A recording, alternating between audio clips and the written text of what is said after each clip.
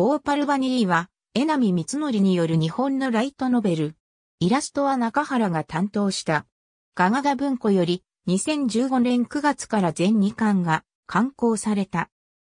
バニーガールの衣装に身を包んだ女殺し屋と彼女の暗殺に関わる人間たちを描いたピカレスク小説である本作はコンピュータゲームウィザードリーを下敷きとしており、タイトルも同作に登場するモンスター、ボーパルバニーに由来するものである。登場人物が自分たちの過去を交えながら、ストーリーを語るスタイルをとっており、語り手は、明らごとに異なる。ある日、リーダー格の青年、霊を頂点に、裏社会で生計を立てる男女6人組が、地下銀行から中国へ移送されている現金3億円の横取りに成功した。その後、6人組の一人であるライキリが、バニーガール姿の女に首を切られて殺され、助けを聞いて駆けつけてきた、ハルートもバニーガールによって気絶させられた。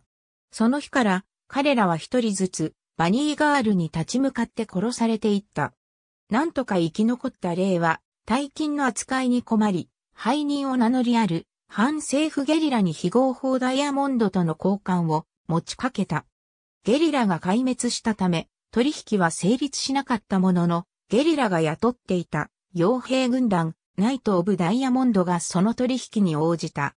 その時から、ナイト・オブ・ダイヤモンドは、何者かの依頼を受けた九段のバニーガールによって、戦力をそがれつつも、長方兵、プリーストの活躍もあり取引の準備を進めることができた。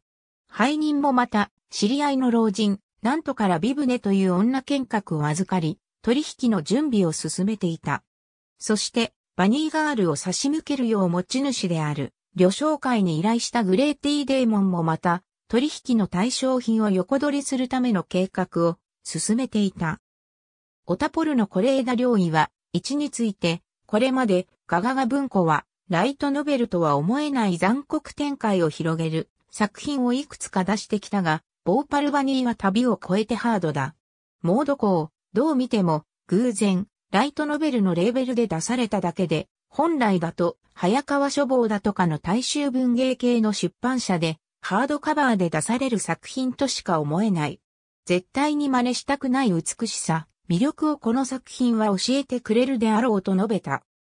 また、これ枝は、二の帯に、夢枕幕の名前が挙がっていたことに触れ、本作は、キマイラ、クや、サイコダイバーに近いような作品で、若い読者にライトノベルは楽しいだけではない広大な世界であることを教えるきっかけとなると思うと評している。